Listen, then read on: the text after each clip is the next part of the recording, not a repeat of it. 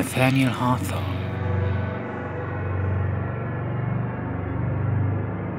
Der junge Goodman Brown.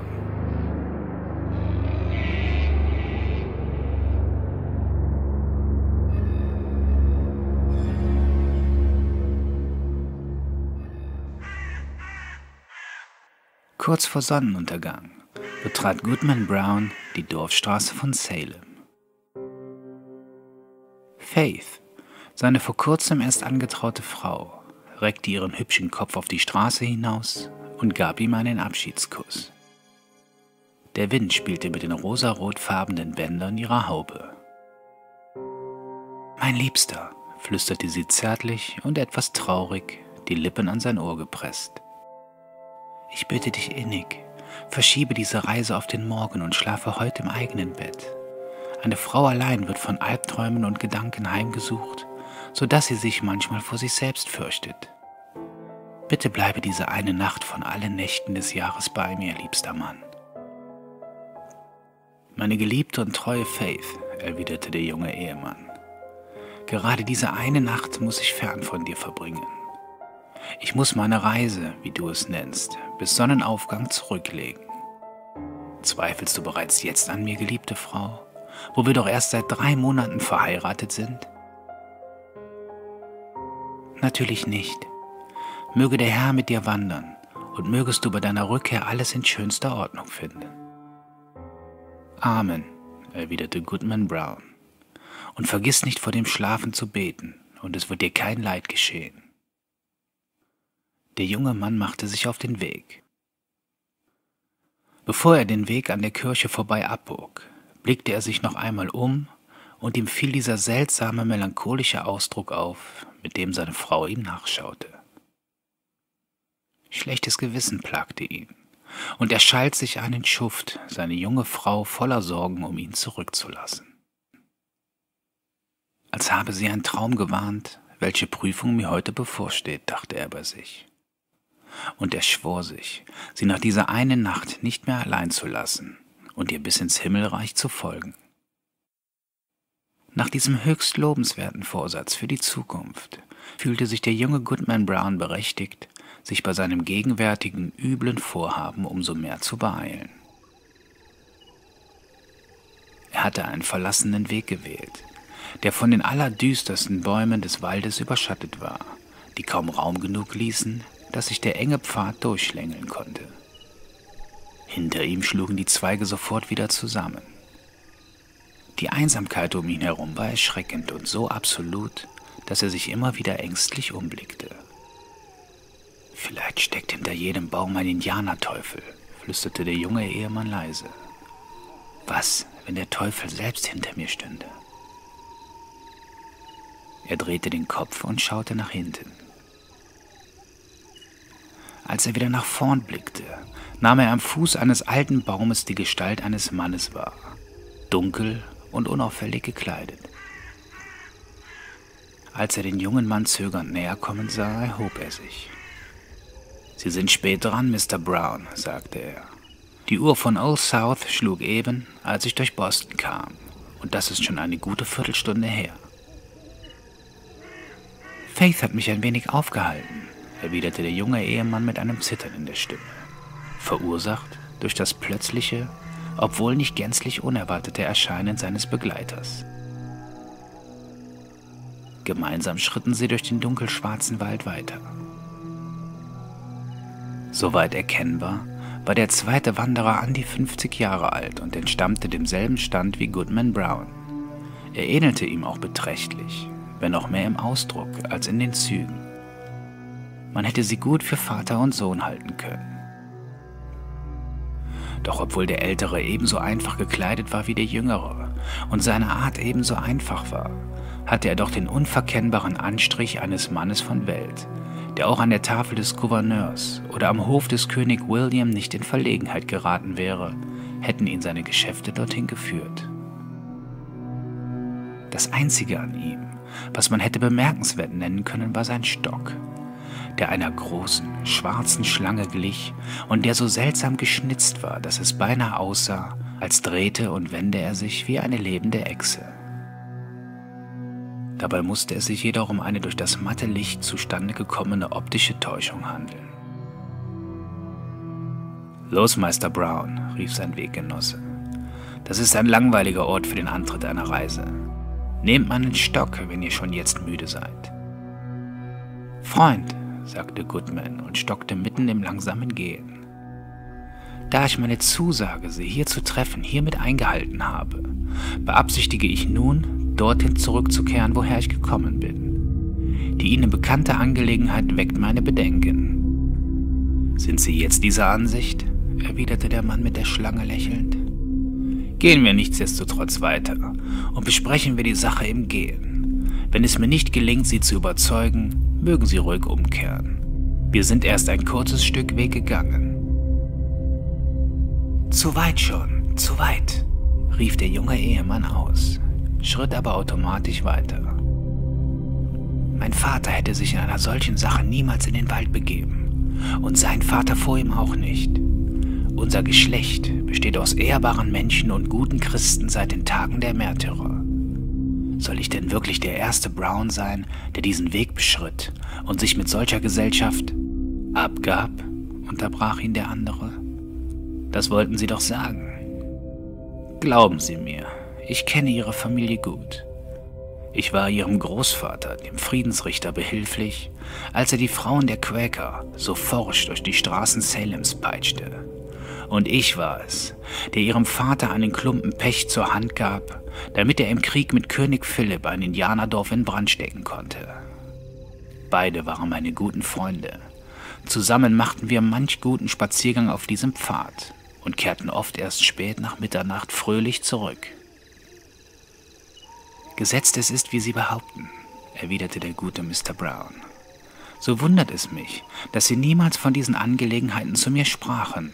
Oder nein, ich wundere mich nicht, denn ich weiß sehr wohl, dass man sie beim leisesten Gerücht dieser Art aus Neuengland vertrieben hätte.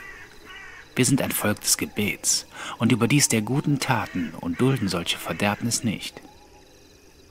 Verderbnis hin oder her, antwortete der Dunkle mit dem gewundenen Wanderstab. Hier in Neuengland bin ich allgemein bekannt. Die Diakone so mancher Kirche haben mit mir zusammen den Messwein getrunken.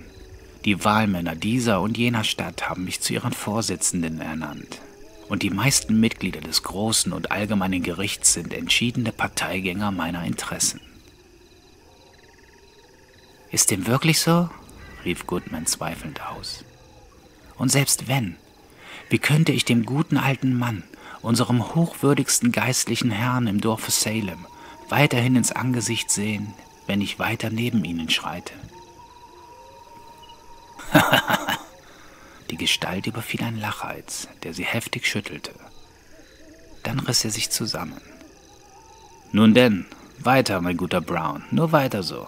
Ich bitte Sie jedoch, bringen Sie mich nicht durch Lachen um. Damit wir also die Sache auf der Stelle beenden, sagte Goodman, den der Spott sichtlich wurmte. Da ist noch Faith, meine Frau. Ihr kleines Herz würde brechen. Nun ja, wenn die Dinge so liegen, gehen Sie besser Ihre Wege, lieber Brown. Um zwanzig solch alter Weiber willen wie der, die da vor uns humpelt, möchte ich nicht, dass Faith etwas zustößt. Bei diesen Worten wies er mit seinem Stab auf eine weibliche Gestalt auf ihrem Pfad, in der Brown eine sehr fromme Dame von vorbildlichem Lebenswandel erkannte, die ihm in der Jugend den Katechismus beigebracht hatte und die, zusammen mit dem geistlichen Herrn und dem Diakon Gukin, noch immer seine Mentorin in moralischen und spirituellen Angelegenheiten war. Das ist ungewöhnlich, was macht Goody Cloyce zu nachtschlafender Zeit so weit draußen in der Wildnis? Ich werde besser einen Abstecher durch den Wald einschlagen, damit sie mich nicht sieht. Machen Sie ruhig, sagte der Dunkle. Begeben Sie sich in den Wald und lassen Sie mich meinen Weg weitergehen. Und so wandte sich der junge Mann zur Seite, achtete aber darauf, den Gefährten nicht aus den Augen zu verlieren, der auf leisen Sohlen auf dem Weg weiterging bis er auf Stocklänge an die alte Dame herangekommen war. Diese schritt mittlerweile tüchtig aus, für eine so alte Frau mit überraschender Geschwindigkeit, und murmelte im Gehen unverständliche Worte. Zweifellos ein Gebet. Der Wanderer streckte den Stock aus und berührte mit jenem Teil, der wie der Schwanz einer Schlange aussah, den verrunzelten Nacken des Weibes. Der Teufel! schrie die fromme alte Frau. Goody Cloyce kannte also ihren alten Freund, bemerkte der Wanderer und stand, auf den zuckenden Stock gestützt, vor ihr. Meiner Seel, ihr seid es wirklich, euer Hochwürden, rief die gute alte Frau. Wirklich und wahrhaftig, ihr seid es. Ganz das Abbild meines alten Freundes, des Herrn Brown, des Großvaters dieses dummen Jungen aus Salem. Sie machte eine kurze Pause und sprach dann weiter. Ich habe mich schon gesalbt mit dem Saft wilder Sellerie, Fingerhut und Huflattich. Angerührt mit feinstem Weizen und dem Fett eines Neugeborenen, ergänzte der Wanderer in der Gestalt des alten Goodman Brown. Ihr kennt natürlich das Rezept, rief das alte Weib laut kichernd.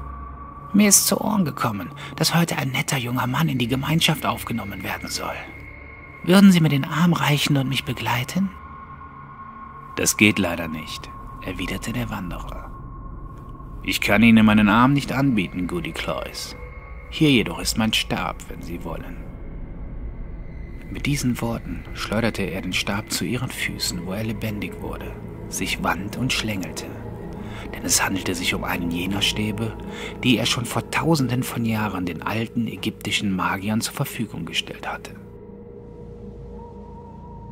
Der junge Goodman Brown schloss vor Schreck die Augen, und als er sie wieder öffnete, gab es weder von Goody Cloyce noch von dem lebendigen Schlangenstab eine Spur zu sehen. Einzig und allein sein Weggenosse wartete so gelassen auf ihn, als sei nichts geschehen. Und diese alte Hexe hat mir den Katechismus beigebracht, klagte Goodman, und aus dieser einfachen Bemerkung war eine ganze Welt von Bedeutung herauszuhören. Beim Weitergehen trieb der Dunkle seinen Gefährten an, ja schnell zu gehen und nicht auf dem Wege zu erlahmen. Er sprach so trefflich, dass seine Argumente eher der Brust seines Zuhörers zu entspringen schienen, als dem eigenen Einfall. Unterwegs brach er einen großen Ahornast ab und fing an, die vom Abendtau nassen Blätter und kleinen Zweige abzureißen. Unter Schaudern und Schrecken sah der junge Goodman Brown, wie die Blätter unter der Berührung des dunklen Wanderers augenblicklich verwelkten. So schritten die beiden weiter, bis sich Goodman Brown plötzlich auf einen Baumstamm setzte und sich weigerte weiterzugehen. Mein Freund, sagte er halsstarrig, mein Entschluss ist gefasst. Keinen Schritt weiter tue ich in dieser Sache. Was liegt schon dran, wenn ein ruchloses altes Weib lieber zum Teufel geht, während ich mir bisher einbildete, sie käme in den Himmel? Ist das ein Grund, meine liebe Faith im Stich zu lassen? Nach und nach werden Sie besser von der Sache denken, meinte der andere. Bleiben Sie ruhig hier sitzen und ruhen Sie sich ein wenig aus. Und wenn Ihnen der Sinn zum Weitergehen zumute ist, hier ist mein Stab. Er soll Ihnen dabei behilflich sein. Ohne ein weiteres Wort warf er dem Gefährten den zuvor abgebrochenen großen Ahornast zu und war so schnell verschwunden, als habe ihn die wachsende Dämmerung verschluckt. Der junge Mann saß einige Augenblicke am Straßenrand, war mit sich selbst aufs höchste zufrieden und dachte daran, mit welch reinem Gewissen er dem hochwürdigen Geistlichen beim Morgenspaziergang entgegentreten würde. Und dass er auch keinen Grund hatte, dem Auge des guten alten Diakons Gurkin auszuweichen. Und wie ruhig würde er diese Nacht schlafen, wie rein und süß in den Armen seiner Faith. Bei diesen angenehmen und lobenswerten Überlegungen hörte Goodman Brown auf der Landstraße Pferdegetrampel. Schnell versteckte er sich. Das Hufegeklappe und die Stimmen der Reiter näherten sich. Es handelte sich um zwei alte, ernste Stimmen, die sich beim Näherkommen nüchtern unterhielten. Die verschiedensten Geräusche waren entlang des Weges zu vernehmen und drangen bis ins Versteck des jungen Mannes.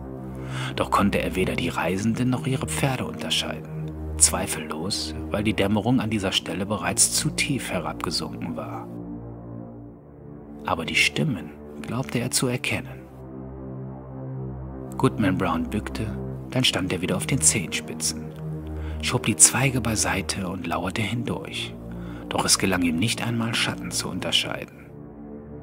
Das beunruhigte ihn, denn er hätte schwören können, er habe die Stimme des hochwürdigen Geistlichen und des Diakons Gukin erkannt, die ruhig dahintrabten, wie sie es zu tun pflegten, wenn sie zu einer Hausvisite oder einer Segnung unterwegs waren. Einer der Reiter hielt, noch immer in Hörweite, inne, um sich eine Gerte abzuschneiden. Vor die Wahl gestellt, Reverend, sagte die Stimme, die der des Diakons glich. Möchte ich eher das Festbankett bei der Amtseinführung eines Geistlichen missen, als die Zusammenkunft heute Nacht? Es heißt, dass einige Teilnehmer der Versammlung von Falmouth und noch weiter weggekommen sind. Und andere aus Connecticut und Rhode Island. Es sollen aber auch einige indianische Schamanen eingetroffen sein, die auf ihre Weise beinahe ebenso viele Teufeleien kennen wie die tüchtigsten von uns. Auch eine ziemlich junge Dame soll in unserem Bund aufgenommen werden.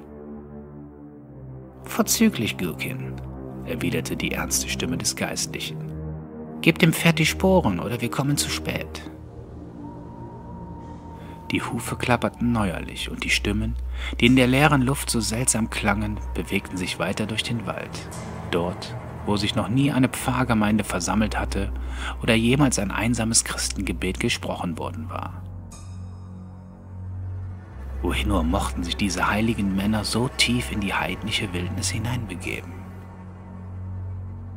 Der junge Goodman Brown hielt sich stützend an einem Baum fest, denn ihm wurde auf einmal so schwer und schwach ums Herz, dass er fast zu Boden gesunken wäre. Er blickte zum Himmel hinauf und zweifelte daran, ob es über ihm wirklich einen Himmel gab. Mit dem Himmel über mir und meine Faith hier unten bei mir will ich denn fest entschlossen dem Teufel trotzen, rief der junge Goodman Brown während er noch immer zum tiefen Himmelsgewölbe hinaufblickte und die Hände zum Gebet erhoben hatte, zog, obwohl sich kein Lufthauch regte, eine dunkle Wolke eilends über den Zenit und verdeckte die hellen Sterne. Der blaue Himmel war noch immer sichtbar, mit Ausnahme einer Stelle direkt über ihm, wo diese schwarze Wolkenmasse schnell nach Norden zog. Er erschrak, denn er glaubte Stimmengewirr aus den Tiefen der Wolke zu hören, leise wispernd. Goodman konnte viele Stimmen seiner eigenen Mitbürger unterscheiden. Männer wie Frauen, fromme wie Gottlose. Viele von ihnen hatte er am Kommunionstisch getroffen. Andere hatte er bei Auseinandersetzungen in der Schenke gesehen. Er zweifelte an seinen Sinnen, schüttelte den Kopf. Bald darauf drang ein stärkerer Schwall dieser vertrauten Stimmen zu ihm die er täglich im Sonnenschein in der Ortschaft Salem gehört hatte, aber bislang noch nie aus einer nächtlichen Wolke. Eine Stimme, die einer jungen Frau, jammerte von einem unbekannten Leid und bat um eine Gefälligkeit, und die ganze unsichtbare Menge, sowohl Heilige wie Sünder, schien sie darin zu ermutigen. Faith! schrie Goodman Brown mit einer Stimme voll Schmerz und Verzweiflung, und das Echo aus dem Walde verspottete ihn. Faith, Faith, schall es zurück. Dieser Aufscheu aus Schmerz, Entrüstung und Entsetzen hallte durch die Nacht.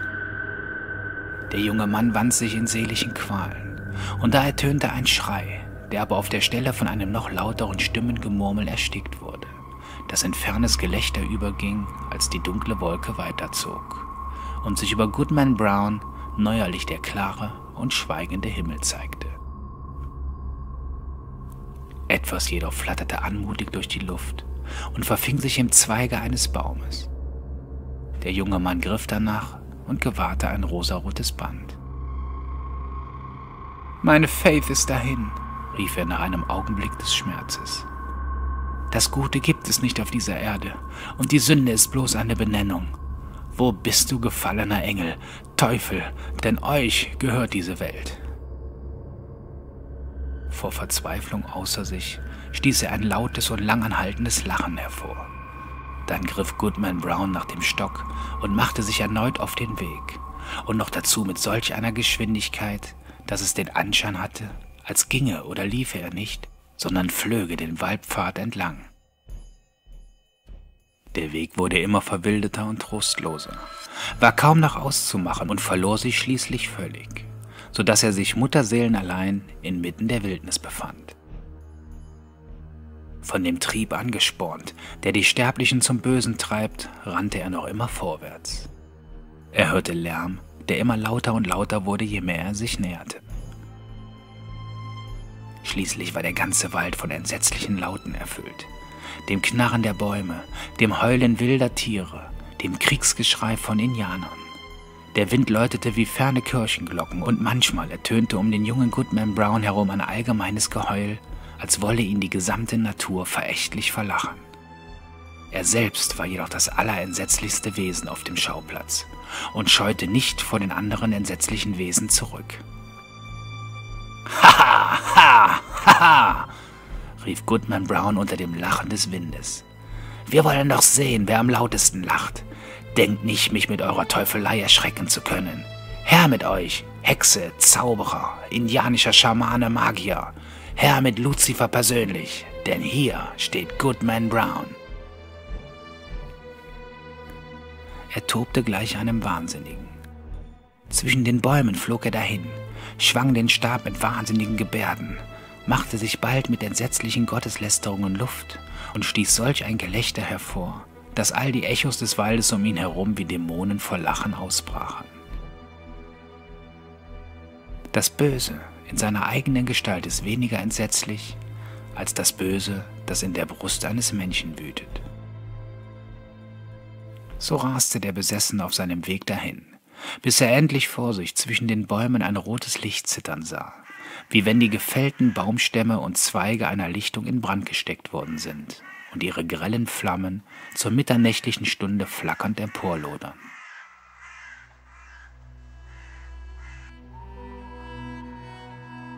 In einer Atempause des Sturms, der ihn angetrieben hatte, hielt er inne und vernahm ein Anschwellen von etwas, was sich wie eine Hymne anhörte, die mit vielstimmigem Klang aus der Ferne hallend herüberdringt. Die Verse verklangen schwerfällig und fanden ihre Fortsetzung in einem Chor nichtmenschlicher Stimmen.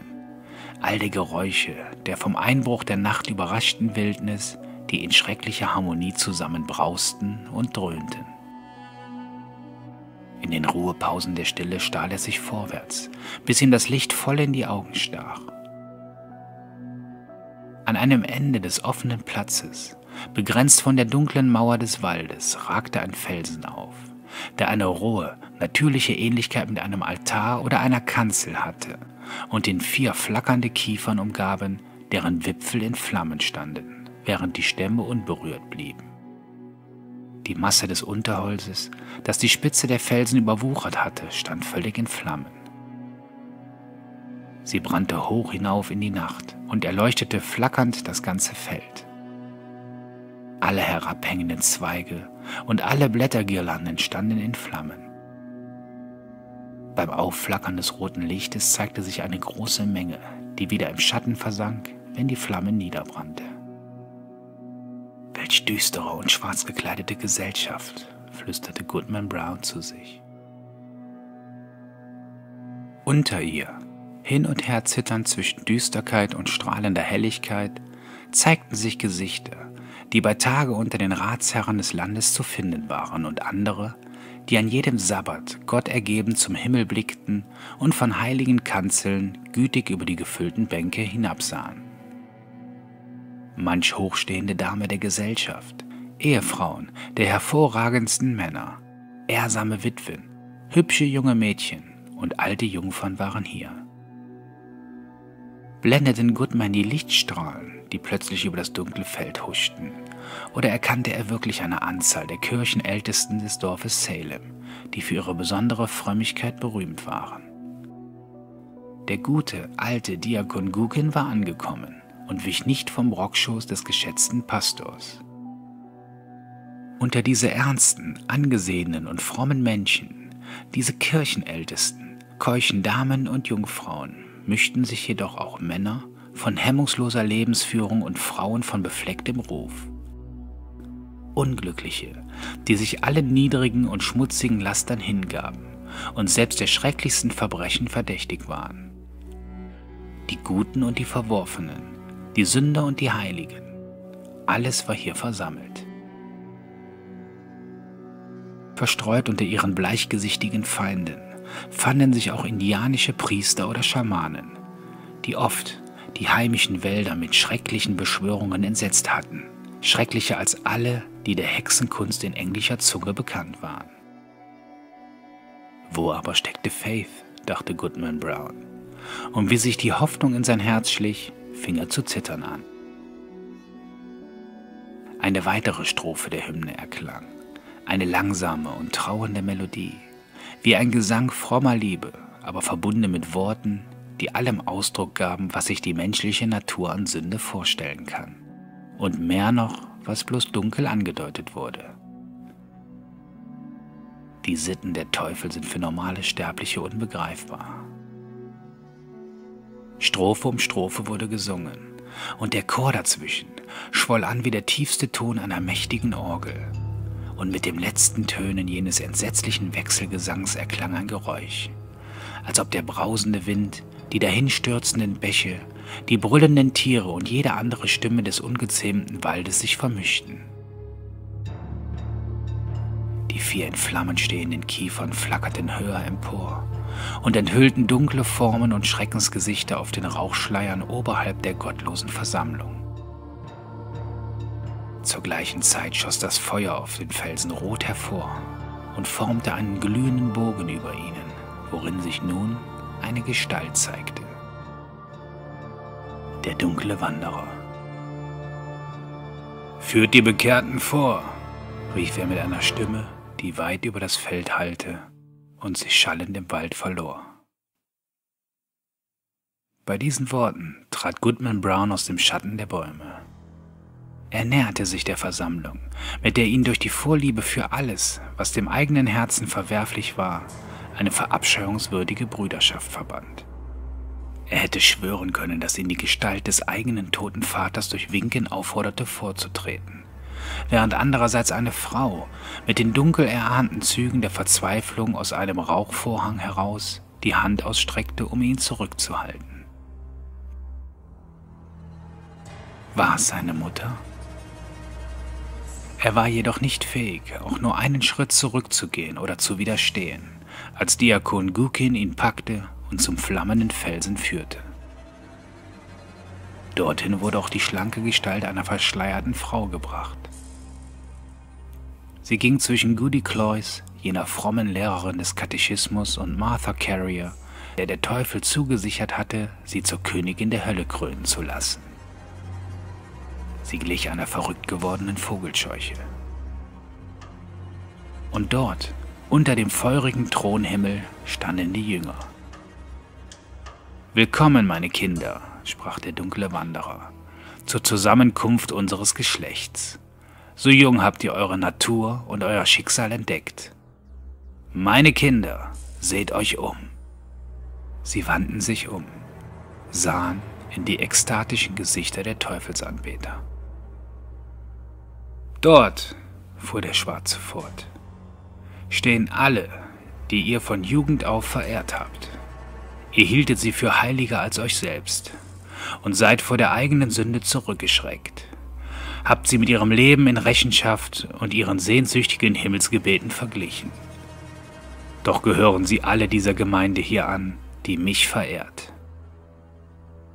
In dieser Nacht wird euch die Erfüllung zuteil, all ihre geheimen Taten zu erkennen.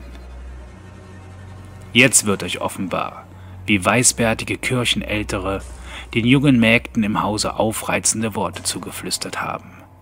Wie manche Frau, die sich nach der Witwentracht sehnte, ihrem Mann zum Schlafengehen einen Trunk verabreichte, so dass er an ihrem Busen zum letzten Schlafe einschlief. Wie sich bartlose Jünglinge beeilen, den Reichtum des Vaters zu erben. Und wie holde Mädchen im Garten kleine Gräber gruben, und mich als einzigen Gast zum Begräbnis eines ungewollten Kindes einluden.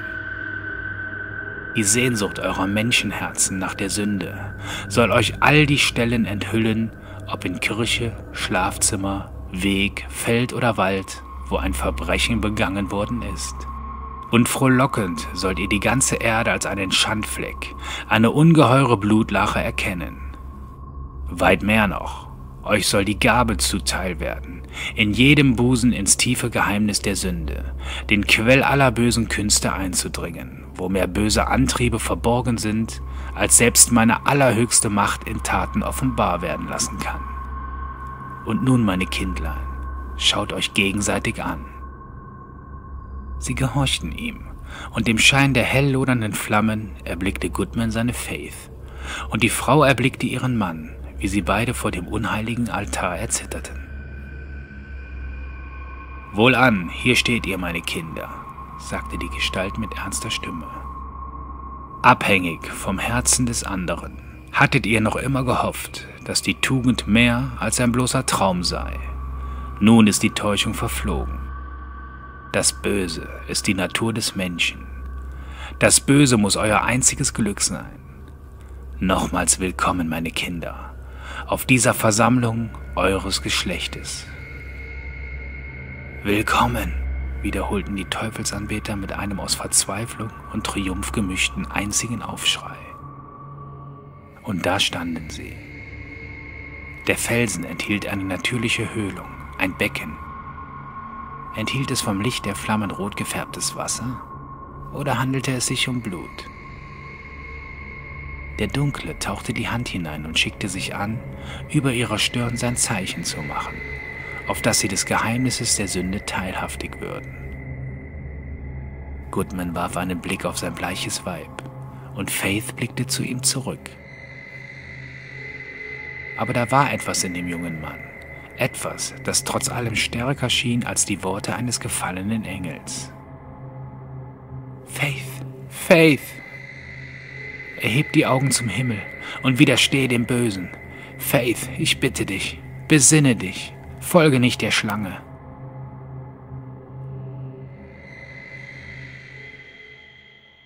Er wusste nicht, ob Faith ihm gehorchte. Denn kaum hatte er diese Worte gesprochen, fand er sich in einer stillen Nacht in völliger Einsamkeit und hörte das abklingende Brausen des Windes, der sich tosend im Wald verlor. Er stolperte gegen den Felsen, der sich kalt und nass anfühlte, und ein herabhängender Zweig, der eben noch gebrannt hatte, benetzte seine Wange mit kaltem Tau. Langsam machte er sich auf dem Heimweg, und am nächsten Morgen kam der junge Goodman Brown langsam die Dorfstraße von Salem herab. Verstört blickte er sich um.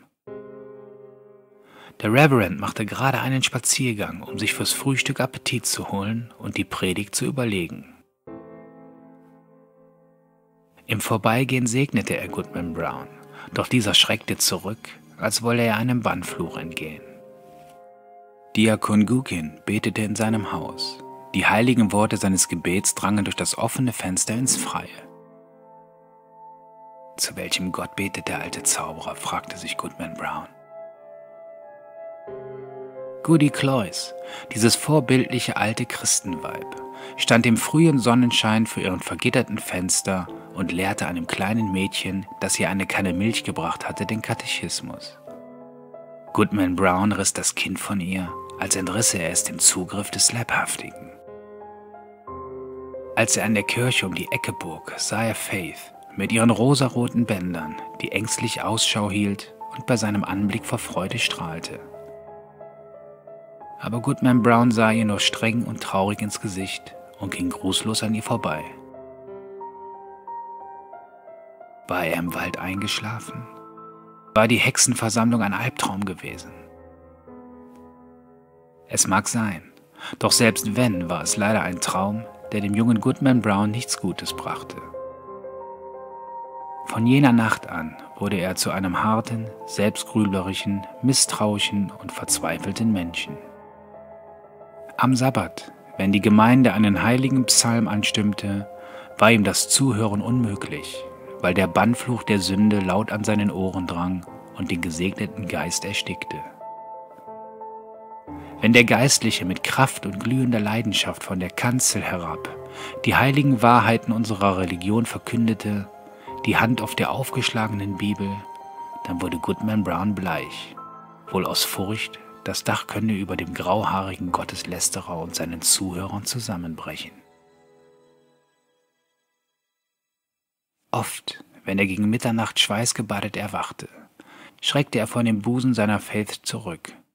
Und am Morgen oder gegen Abend, wenn die Familie zum Gebet niederkniete, runzelte er die Stirn, murmelte etwas in sich hinein, sah finster die Frau an und wandte sich ab.